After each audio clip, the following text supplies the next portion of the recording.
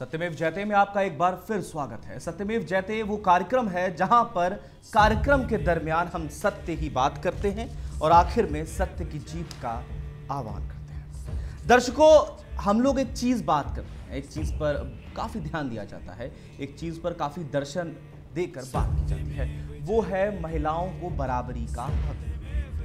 Jobs में इसके साथ ही अन्य अलग अलग विभागों में हर जगह ये बात बड़ा ही चर्चा का विषय रहती है, दमदारी के साथ रखी जाती है कि महिलाओं को बराबरी का हक दिया जाए। सरकारी नौकरियाँ हों, कोई भी अन्य विभाग हो, हर जगह ये बात होती है। लेकिन क्या ऐसा हो पाता है? कोशिशें लगातार जारी रही।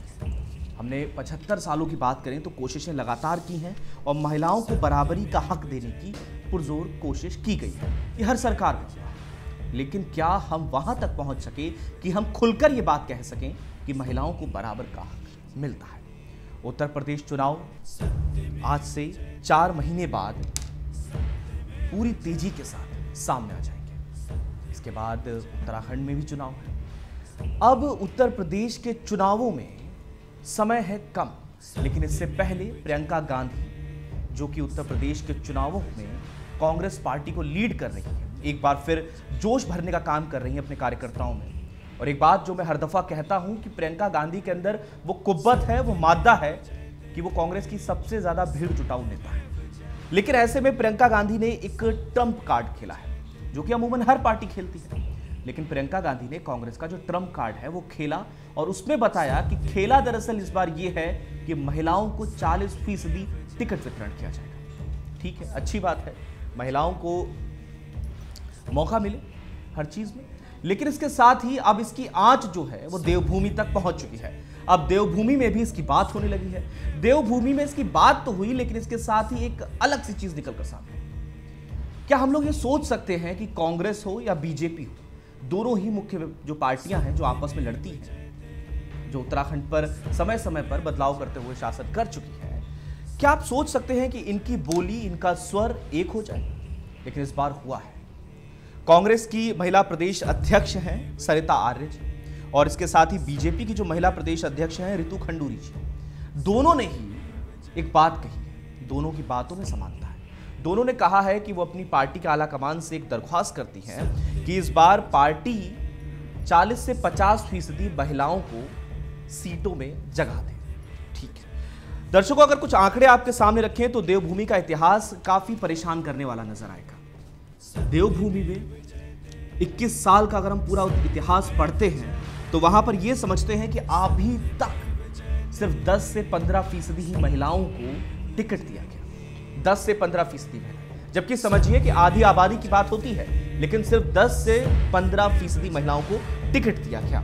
इसके साथ ही अगर हम सीधे आंकड़ों पर जाएँ तो 38 लाख महिला वोटर जहाँ पर हों, वहाँ पर आपको सुनकर आश्चर्य होगा कि 21 साल के इतिहास में? 2002 से शुरुआत करेंगे। 2002 और 2007 इन दोनों ही चुनावों में चार चार महिला विधायक बनी। सत्तर विधानसभा सीटों में सिर्फ़ चार और चार दोनों ही चुनाव महिला विधायक क्योंकि टिकटें देने में कंजूसी की गई। इसके बाद 2012 की बात करें तो छह महिला विधायक और 2017 की बात करें तो सिर्फ़ पाँच।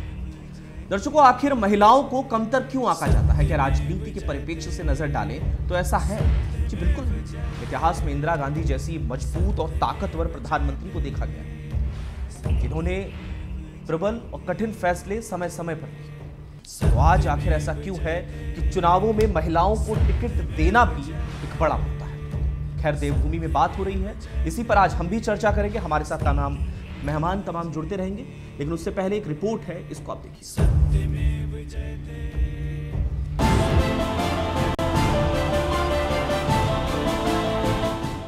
उत्तर प्रदेश में प्रियंका गांधी ने महिलाओं पर दांव क्या चला? अब उत्तराखंड में भी इसको लेकर सियासी हलचल बढ़ गई है। एक तरफ़ कांग्रेस है तो दूसरी तरफ़ बीजेपी। और दोनों के बीच में अपना संकरा रास्ता बनाने की जुगत में जुड़ी आम आदमी पार्टी। तीनों ही पार्टियाँ महिलाओं को लेकर अब लग गई हैं अपने काम पर। एक तरफ़ जहाँ कांग्रेस पार्टी के पूर्व मुख्यमंत्री हरीश रावत कह रहे हैं कि अब महिलाओं को ज़्यादा अवसर दिए जाएँगे। उत्तर प्रदेश की तर्ज पर ही उत्तराखंड में भी महिलाओं को ज़्यादा मौके मिलेंगे और महिलाओं को अब आगे करा जाएगा। उन्हें प्रतिनिधित्व करने का मौका दिया जाएगा। यहाँ टक्कर स्पष्ट भी नहीं होगी तो वहाँ भी हम महिला के पक्ष में लुंडेज मानेंगे परिस्थितियों को और महिलाओं को अवसर वहीं कांग्रेस की रणनीति के बाद अब बीजेपी ने भी महिलाओं को लेकर रणनीति बनाना शुरू कर दिया है। ऐसे में बीजेपी ने सबसे पहले सभी सत्तर विधानसभा सीटों पर महिलाओं को सह प्रभारी नियुक्त किया है। ये एक बड़ा दाव है जहाँ महिलाओं को प्रतिनिधित्व दिया गया है, जहाँ महिलाओं को मौका दिया गया है। वहीं देवभूमि उत्तराखंड में, जहाँ एक तरफ़ कांग्रेस की महिला प्रदेश अध्यक्ष सरिता आर्य हैं तो वहीं दूसरी तरफ़ बीजेपी की महिला प्रदेश अध्यक्ष ऋतु खंडूरी है। यूँ तो ऐसा कभी नहीं देखा जाता कि दो विपक्षी पार्टियाँ एक साथ एक बात, एक स्वर में कह दें, लेकिन इस बार ऐसा देखा गया है। सरिता आर्य जी का कहना है कि कांग्रेस को 40 प्रतिशत सीटें महिलाओं को देनी चाहिए। और वहीं ऋतु खंडूरी की भी मांग है कि बीजेपी को उत्तराखंड में 50 प्रतिशत सीटें महिलाओं को देनी चाहिए। माननीय प्रियंका गांधी जी ने यूपी में कहा कि हम 40 परसेंट महिलाओं को यूपी में टिकट देंगे। तो मैडम से मांग करते हैं कि उत्तराखंड में भी 2022 में चुनाव है। मैं एक महिला प्रदेश अध्यक्ष होने के नाते उत्तराखंड की मांग करती हूँ मैडम से कि उत्तराखंड में भी हम लोगों को 40 परसेंट टिकट की हम लोग मांग करते हैं। मैं तो हर प्लेटफॉर्म पर हर फोरम पर कह रही हूँ पचास परसेंट हम लोग हैं। उत्तराखंड में आप जानते हैं, पचास परसेंट को रिप्रेजेंट करती हूँ मैं महिलाओं को। तो मैं चाहूँगी कि ज़्यादा से ज़्यादा टिकट बहनों को मिले और बहुत हमारे पास मेरिटोरियस बहनें हैं, जो इस वक्त विधायक के बनने के लायक हैं। उन्हें बनना भी चाहिए, मिलना भी चाहिए। वहीं सियासी घमासान के बीच फंसी आम आदमी पार्टी कुछ भी कहने से बड़ा साफ़ बचती नज़र आ रही है। आम आदमी पार्टी का कहना है कि वो चुनाव में है और सीधे आरोप लगा रही है कि ये सिर्फ़ चुनावी बात है। चुनाव खत्म होने के बाद से महिलाओं पर चले दांव की बात भी खत्म हो जाएगी। ऐसे में आम आदमी पार्टी ने स्पष्ट कहा है कि उनके पास विकास के मुद्दे पर चुनाव है और वो इसी मुद्दे पर चुनाव लड़ेंगे, क्योंकि ये सिर्फ़ चुनावी लॉलीपॉप है, जिसको लेकर दोनों पार्टियाँ अपनी अपनी बात रख रही हैं।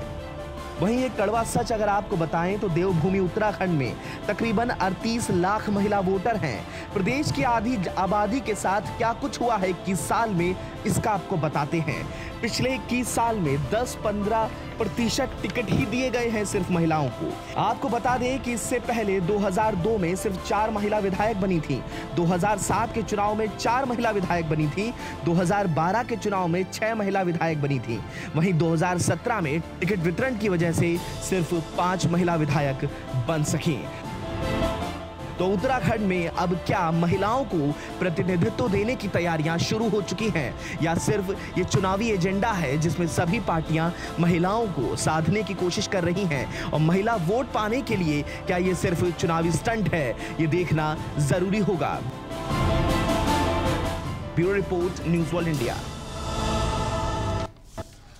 ठीक है, महिला नेताओं को भी अब टिकट वितरण की जो बातचीत है, वो देवभूमि में उठने लगी है। अच्छी बात है, बाकी तो सब, जैसा कि उत्तराखंड में कहा जाता है कि भोलेनाथ हैं। लेकिन इसके साथ ही एक और सवाल है क्या ये सिर्फ़ एक चुनावी स्टंट तो नहीं है? जिस तरीके से पार्टियाँ चुनावों से पहले नए नए मुद्दे लेकर आती हैं नई नई बातें करती हैं नए नए स्वरों में नई नई बड़ी बड़ी बातें कर जाती हैं, लेकिन उसके बाद चुनाव के जाते ही सब छू मंतर सब डिमनिश हो जाता है।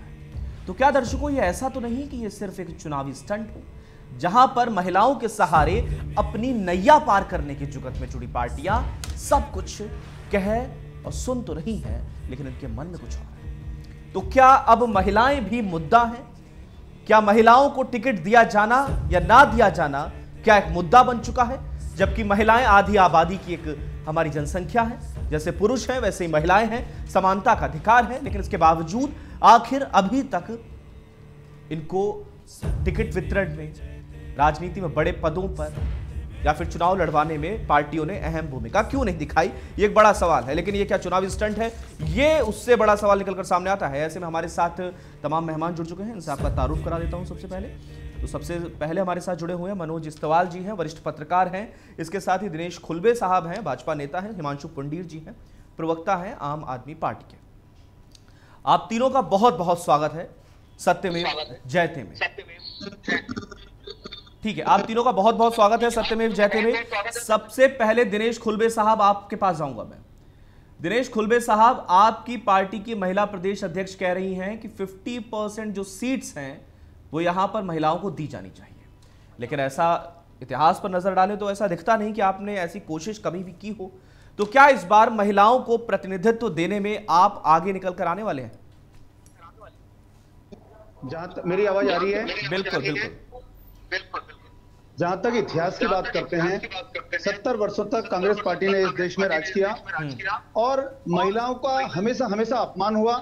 और एक पार्टी की सरकार मात्र बन के रह गई। अगर मैं आज की बात करता हूँ जब भारतीय जनता पार्टी का समय शुरू हुआ है भारतीय जनता पार्टी की सरकारें आना प्रारंभ हुई हैं।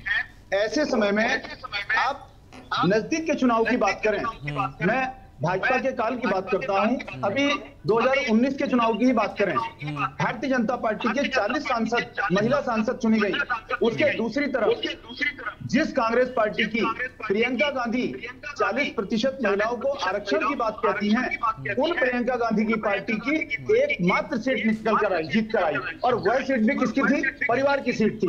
तो ऐसा कहना बिल्कुल सरासर गलत है कि भारतीय जनता पार्टी महिला आपने जो महिलाओं की बात करी कि भारतीय जनता पार्टी मैंने यहाँ पर कोई आरोप नहीं लगाया। महिलाओं पर ध्यान नहीं देती है महिलाओं को सम्मान नहीं देती है। नहीं मैंने ये बात नहीं कही। आपके मन में ये बात कहाँ से जी।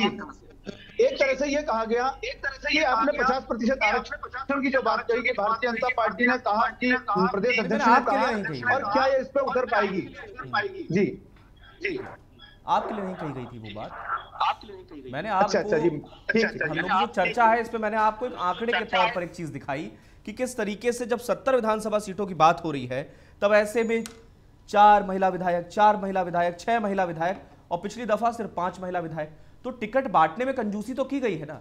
तभी तो महिला विधायकों की जो संख्या है वो कम है। आप जो बात बता रहे हैं ये बात बता रहे हैं आप 2000 इससे पहले 2017 की बात बता रहे हैं आप। जी। लेकिन मैं अभी की बात कर रहा हूँ आपसे सत्रह के बाद दो हज़ार उन्नीस बात कैसे कर दो हज़ार जो उसके बाद मैं देखिए बात बात प्रदेश की नहीं बात राष्ट्रीय पार्टी भारतीय जनता पार्टी की नीतियों की है। और 2019 का परिणाम हम देख चुके हैं कि भारतीय जनता पार्टी ने महिलाओं को जो सम्मान दिया उसी का कारण था कि कांग्रेस से 40 गुना सांसद ज़्यादा हमारी पार्टी का है। और अब ये 2022 का चुनाव होना है इसमें हमें विश्वास है कि महिलाओं को समुचित सम्मान मिलेगा। ठीक है। हिमांशु पंडित जी भी हमारे साथ जुड़े हुए हैं प्रवक्ता है आम आदमी पार्टी के। हिमांशु जी ये बताने की कोशिश कीजिएगा कि आपकी पार्टी ठीक है? बिल्कुल इंट्रोडक्टरी फ़ेज़ में है, लोगों के सामने अपना परिचय दे रही है। लेकिन आप लोग आरोप प्रत्यारोप में तो माहिर खिलाड़ी हैं। आरोप तो आप खूब बैठकर लगा लेते हैं कि बीजेपी ये है, वैसी है, कांग्रेस वैसी है, ऐसी है। लेकिन आप अपने आप की बात को खुलकर नहीं कहते। आप आरोप वाली राजनीति कर रहे हैं, अपना एजेंडा नहीं बताते। आपसे जब बातचीत करी गई तो एक नवीन प्रशाली साहब हैं, प्रवक्ता हैं, वो भी आम आदमी पार्टी के। उन्होंने कहा कि हम महिलाओं के मुद्दे पर बात नहीं करेंगे, हम विकास के मुद्दे पर तो आखिर महिलाओं के मुद्दे पर बात क्यों नहीं करेगी आपकी पार्टी? और आपकी पार्टी के पास कोई ऐसा विजन है जहाँ पर महिलाओं को समानता का अधिकार राजनीति के परिप्रेक्ष्य में दिया जा सके? ऐसा कुछ है आपके पास? देखिए हमारे यहाँ पूरी महिलाओं का सम्मान किया जाता है। पूरा महिलाओं का एक फ्रंटल ऑर्गेनाइजेशन है जो सबसे महत्वपूर्ण ऑर्गेनाइजेशन किसी भी पार्टी की रहती है। तो हमारी महिलाओं को हमने शुरू से सम्मान दिया है और हमारी पार्टी में जितना सम्मान दिया जाता है उतना और किसी पार्टी में दिया भी नहीं जाता होगा। नहीं सम्मान सम्मान के साथ ही टिकट की भी बात हो रही है। सम्मान तो ठीक देखिए जो व्यक्ति जो व्यक्ति योग्य होगा हमारी पार्टी पहली बार उत्तराखंड में चुनाव लड़ रही है। जो योग्य व्यक्ति होगा उन्हें टिकट वितरण उसी हिसाब से होंगे। और जहाँ तक महिलाओं के सम्मान की बात है तो महिलाओं को ज़रूर ध्यान रखा जाएगा। हमारे देश में महिलाओं को पहले स्थान दिया जाता है। ये हमारी भारतीय संस्कृति में है कि हम आप कह रहे हैं जो योग्य होगा फिर आप कह रहे हैं कि हमारी संस्कृति में महिलाओं को पहले योग्य देखिए योग्य महिला ही चुनाव लड़ पाएँगी। जो महिलाएँ सक्रिय चुनाव नीति में है और सही तरीके से जनता का ठीक है तो आप क्या कहना चाहते हैं? आप कहना क्या चाहते हैं? मतलब पिछली दफ़ा जो पाँच महिला विधायक बनी है, इससे पहले छह महिला विधायक बनी है उससे पहले हुए चुनावों में भी चार चार महिला विधायक बनी है। आप कह रहे हैं योग्यता के आधार पर ही टिकट दिया जाता है तो क्या महिलाएँ योग्य नहीं समझते आप? भाजपा परिवारवाद की राजनीति करते हैं हम्म। जिनके परिवार में पहले से जो नेता लोग रहे हैं उन्हीं के बच्चे आगे उनको टिकट दिया जाता है हम्म, ये तो इन्होंने दोनों पार्टियों ने रीत बना रखी है हम्म। हमारी पार्टी का ये कहना है कि जो योग्य व्यक्ति होगा हम्म। और हमारी महिलाओं में बहुत योग्य व्यक्ति हमारी पार्टी में हैं? महिलाएँ बहुत ही योग्य महिलाएँ हमारी पार्टी में। योग्य महिलाएँ हैं तो उनको टिकट दी जाएँगी। खुलकर बोल दीजिए मंच से।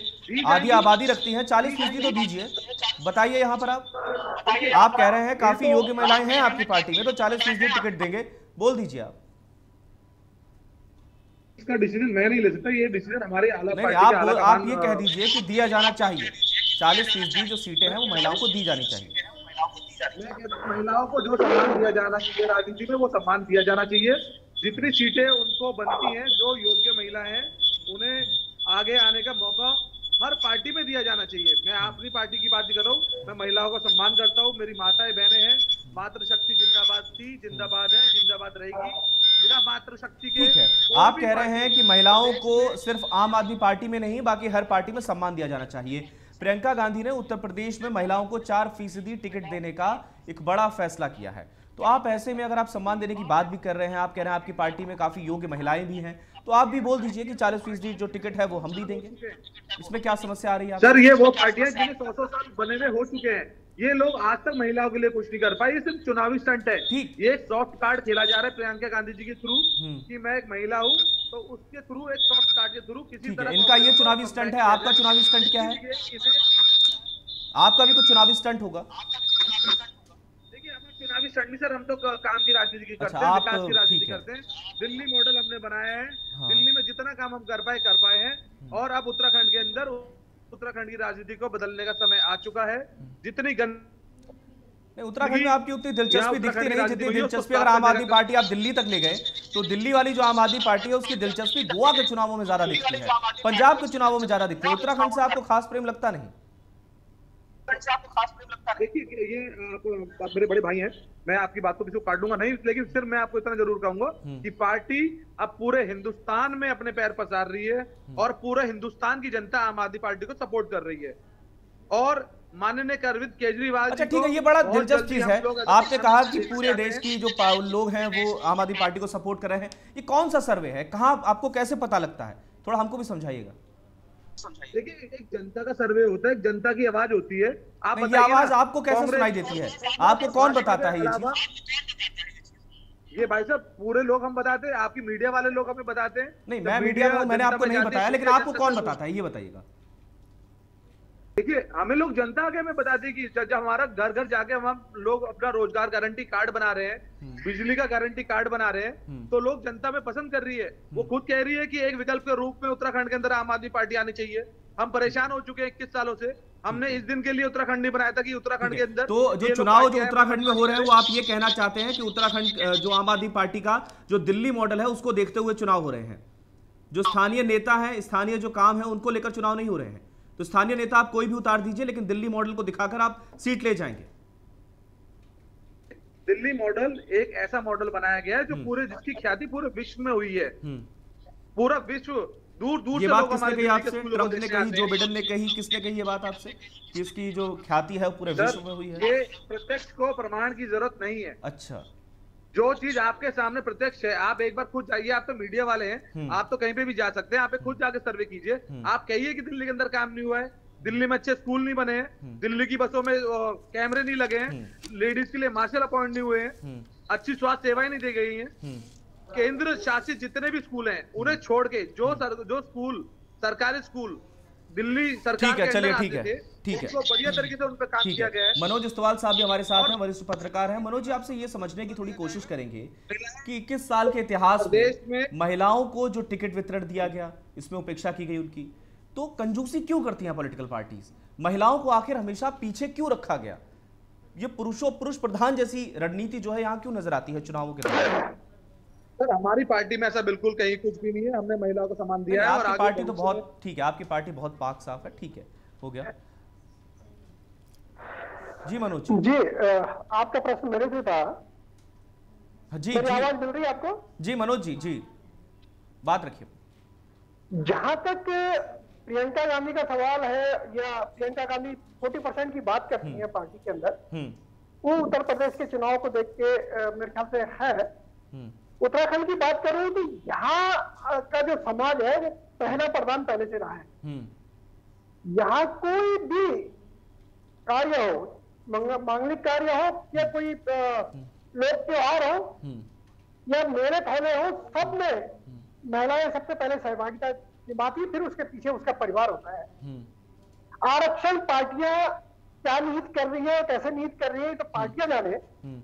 लेकिन उत्तराखंड के घर घर में महिला ही सर्वोच्च है बतौर परिवार के मुखिया के तरह। ठीक है। पूरा परिवार उनके अंदर होता है और पूरा परिवार समाहित होता है उनके आधार पर। अब रही राजनीतिक के सारी जो जितनी भी आजकल टूटती हुई राजनीति और जो भी नीतियाँ इस समय चल रही है विधानसभा चुनाव को देखते हुए उत्तर प्रदेश और उत्तराखंड में हम्म। प्रियंका गांधी के पास मेरे ख्याल से कैंडिडेटों का अकाल है उत्तर प्रदेश में। हम्म। या फिर कांग्रेस के पास वो चेहरे हैं हम्म। जिनका प्रोफ़ाइल योगी गवर्नमेंट के आगे हम्म। कुछ नहीं है इसलिए शायद फोर्टी परसेंट की बात हो रही है। आज तक कांग्रेस ने इतने साल राज किया हम्म। तो उससे पहले कांग्रेस कहाँ थी? भाजपा की मैं अपने प्रदेश की बात जहाँ तक करता हूँ व्यक्तिगत तौर पर तो भाजपा ने प्रदेश में अभी हमारे वो पूर्व कबीना मंत्री प्रकाश पंत एक्सपायर हुए हम्म। तो उनकी जगह उनकी मैडम आई है हम्म। उनको टिकट दिया। अपनी दो तीन जगह से ऐसे हो गया है और इस क्षेत्र से फिर भी अगर अ, महिलाएँ 2017 आई पर हैं। 2017 के चुनावों पर नज़र डालें तो ऐसा नहीं लगता कि इस्तवाल साहब सिर्फ़ पाँच महिला विधायक बनी। सिर्फ़ पाँच। पाँच योग्यताएँ भी कहीं ना कहीं कायम होती है ठीक है तो आप ये कहना चाहते हैं ना इस्तवाल साहब देखिए ये गलत कमेंट है आपका। योग्यता की भी बात होती है। मुझको ऐसा लगता है कि टिकट वितरण में कंजूसी की गई होगी। योग्यता की बात नहीं होती। अगर आप योग्यता की बात करेंगे तो आप ये कहना चाहते हैं कि महिलाएँ अगर सीधे सीधे तौर पर करूँ तो पाँच फ़ीसदी महिलाओं को आप योग्य मानते हैं? इसके अलावा कोई महिलाओं में योग्यता नहीं है क्या? ये गलत कमेंट हो सकता है इस्तवाल साहब आप। आप चुनाव किसके भरोसे जीतेंगे मान्यवर सिर्फ़ महिला चुनाव जिता देगा आपको। हाँ ये ठीक था कि ये ठीक था कि भाजपा में जब मोदी का चेहरा था और मोदी के चेहरे के आधार पर चुनाव जीत कर पार्टी आ गया है तो उस समय पार्टी कमान को ये सोचना चाहिए था कि हाँ इसमें बढ़ोतरी पाँच की जगह दस हो दस की जगह बीस हो। चालीस परसेंट की जहाँ तक बात कर रहे हैं ना आज होगा ना आने वाले कल में कभी संभव हो पाएगा कि चालीस परसेंट कोई भी पार्टी क्यों नहीं हो पाएगा? यही जानने की कोशिश कर रहे हैं इस चर्चा के इसमें या तो पॉलिटिकल रुझान में महिलाओं का जो बढ़ चढ़ कर हिस्सेदारी नहीं है अभी भी फुट पर महिलाएँ तो हिस्सेदारी देने का काम कौन करेगा? हिस्सेदारी देने का काम भी तो पॉलिटिकल पार्टी को ही करना पड़ेगा। पार्टी को ही करना पड़ेगा। नहीं बिल्कुल हिस्सेदारी देने का काम करना पड़ेगा हूँ। जी बिल्कुल चलिए ठीक है। मतलब समय की कमी के कारण आपको यहीं पर रोकूँगा बहुत बहुत शुक्रिया आपका मनोज इस्तवाल जी इसके साथ ही दिनेश खुलबे जी और हिमांशु पंडित जी। आप तीनों का बहुत बहुत शुक्रिया कार्यक्रम में जुड़ने के लिए और अपनी बातों को रखने के लिए। तो आज हम बात कर रहे थे कि आखिर उत्तराखंड में देवभूमि में महिलाओं को टिकट वितरण में हमेशा और सदैव कंजूसी क्यों क्यों की जाती है? ये भी तो आखिर पॉलिटिकल पार्टीज़ की ही ज़िम्मेदारी है कि महिलाओं को बढ़ चढ़कर आगे बढ़ने के लिए उनको हमेशा मोटिवेट करते रहें, उनको आगे बढ़ाने में हमेशा सफल प्रयोग करते रहें। लेकिन इसके बावजूद जो कमतर नज़र आती हैं चीज़ें, वो मुझे ये नज़र आती हैं, जब आंकड़े देखता हूँ तो समझ में आता है कि अड़तीस लाख महिला वोटर और विधायक चार चार, पाँच छः ये समस्या है, इसका निदान भी ज़रूर। सत्यमेव, जयते में फ़िलहाल के लिए इतना ही। कल एक बार फिर आपसे मुलाकात होगी। तब तक के लिए शुक्रिया